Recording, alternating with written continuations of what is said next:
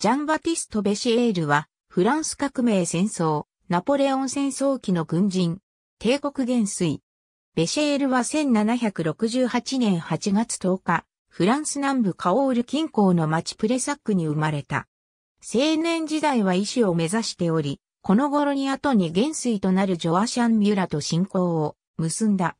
23歳の時に軍に入隊し、短期間類16世の応急守備隊として働いた。その後、スペイン方面軍、東部ピレネー方面軍、モゼル軍と次々と転属した。彼はたちまちその豪遊さで知られるようになった。1796年から始まったイタリア戦役ではナポレオンに随行し、ロベレートの戦いで顕著な働きを見せた。この活躍により、ナポレオンから目をつけられた。さらに、リボリの戦いでも活躍し、ナポレオンからの個人的信頼を得た。そして、シュタヤーマルク侵攻では、先導役を務めた。エジプト遠征に際してはアッコ包囲戦、アブキールの戦いでの勝利に貢献した。1800年に勃発したマレンゴの戦いでは、失勢この得体を率いた。しかし、味方部隊が奮闘している中、大した動きを見せず、終盤になって、ようやく騎兵突撃を行った。この騎兵突撃は一定の成功を収めたものの、敵軍に決定的な損害を与えることはなく、結局ケレルマンの見事な騎兵突撃によって勝敗が決まった。1802年に師団長に昇進した。1804年に帝国元帥となり、皇帝親衛隊の軍団長に任命された。この人事には多くの批判が起こり、マルモン将軍はベシェールが元帥になれるのであれば、誰でも元帥になれる。と評した。1805年2月2日には、レジオンドヌール・グラン・テグルク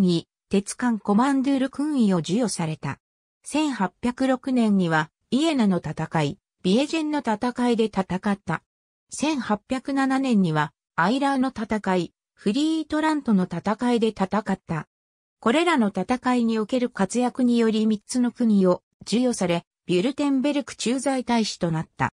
1808年、西部ピレネー偵察軍団司令官に任命されたが、間もなく半島戦争のため、スペイン方面に派遣された。同年7月14日に勃発したメディナデルリを、セコの戦いでは1万4千人ほどの兵力で2万2千人以上のスペイン軍を打ち破った。その後、ブルコスの戦いで、イギリス軍相手に勝利を収め、ジョゼフ・ボナパルトと共に、マドリードに入場した。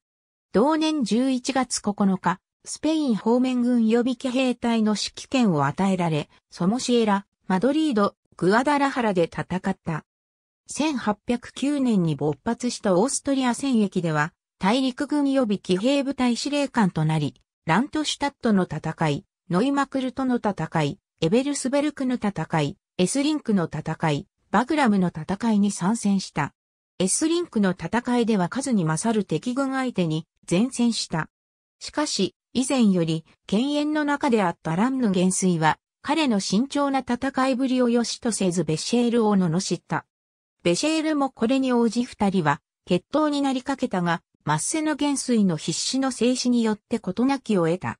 バグラムの戦いでも前線したが、危うく死にかけ、ミスミス敵軍の捕虜を逃すという失態を犯した。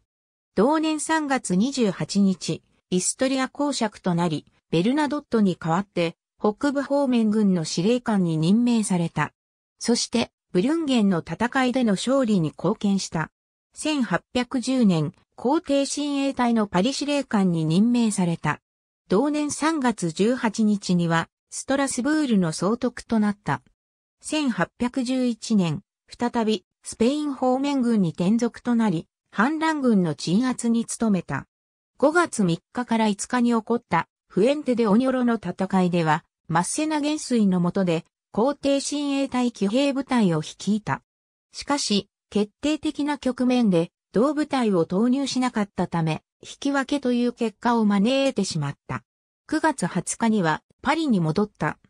1812年から始まったロシア遠征では、皇帝親衛隊の騎兵部隊指揮官に任命された。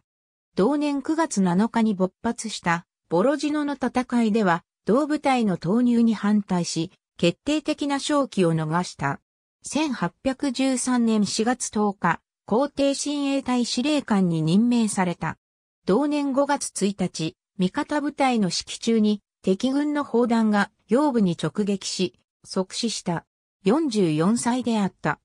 日頃から彼に目をかけていたナポレオンは訃報を聞き、非常に悲しんだという。彼が亡くなった日は、リュッツェンの戦いの前日であった。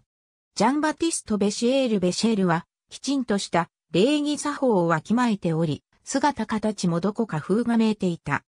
また、性格も清廉、かつ、気立てが良いので、ナポレオンの元帥の中では最も紳士的であったと言われている。また、その人柄ゆえに多くの部下に慕われた。軍事指揮官としては慎重かつ豪気であった。そのため、部隊指揮官としては凡庸であったが、司令官としては優秀であった。ジョアシャン・ミュラの唯一無二の親友であり、ミュラとジャンランヌがナポレオンの妹カロリーヌとの結婚をめぐって競争になった際には、ミュラの肩を持ったという。前述の通り、ランヌとは犬猿の中であった。東京富士美術館にロベール・ルフェーブルによるベシェール・夫人の肖像画が所蔵されている。ありがとうございます。